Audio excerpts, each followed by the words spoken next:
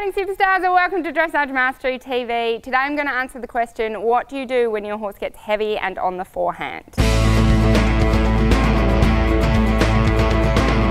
So super, super question, happens to all of us. Ugh. Don't we wish it didn't? That we just ride these amazing, light, effortless dressage horses.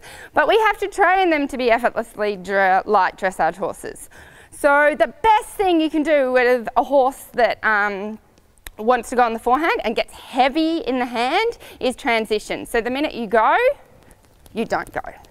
Good boy. And there he went a little bit against my hand. Did you see that? He kind of went heavy and strong in the hand. So he's not allowed to do that. I'm going to use a little bit more leg. So trot and walk. And he's not so I'm, at the minute, I'm literally asking two steps trot, walk, two steps trot, walk, two steps trot, walk. The minute I've applied and asked for the trot, I'm then sitting, blocking with my seat, half halt, and saying, now I want to go back to walk. And he's running through that a little bit. Uh-uh-uh, you can see that. That is definitely not two steps of trot. Ah, good boy, good boy. Uh-uh-uh. So there he ran and just got a little bit heavy again. Braff. Now the point of why we do this is that he never, okay, so we didn't actually get to trot on that one. Ah. So this is why most people don't ride Friesians. They're a little bit like brontosauruses. Takes a long time. Ah, ah, ah, ah. so he really ran through on that one. So I've just done a hot rein back. Um. And yet the reason this exercise is so good is because he can never braff. He can never um, fall on the forehand because basically I'm saying stay on your hind legs the whole time. Go, don't go. and now you can see this is such a good exercise for so many things. Is my horse reactive to my leg? Give me a score, zero to 10. I'd give it a two. I'm asking, I'm asking, I'm asking. Oh, well, that just took way too long and was way too hard. And dressage horses shouldn't be like that. They should be going from the lightest leg, so he should be trotting. He's got a huge delay and then a huge delay in coming back. He's got to go, ah, except he didn't go, but at least he was staying on his hind legs. Better. Uh-uh.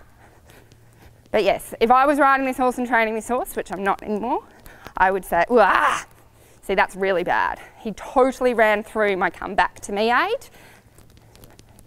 Better. Yeah, so you can do that for ages.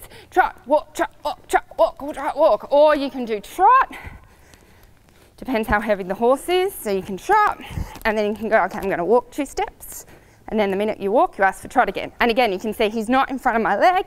He's not where he needs to be because I need to apply a lot of leg just to get back into trot. That's not how it's meant to be.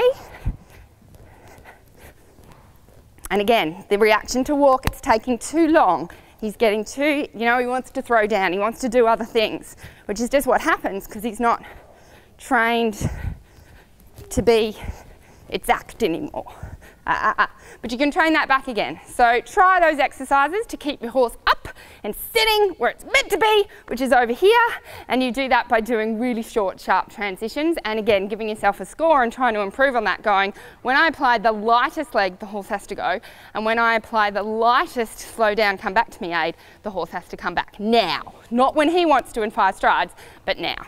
If you liked today's episode, make sure you hit the subscribe button so you never miss an episode. And if you want to leave a comment, I read all my comments, so let us know how this helped. If you would like some more dressage help, I have a completely free ultimate seat package, which is filled with videos, training plans, a 30-day training plan, uh, bonus videos, and bonus explanations of what you need to do in your training for the next 30 days. I would love to give that to you for free. Just click on the link below and check that out.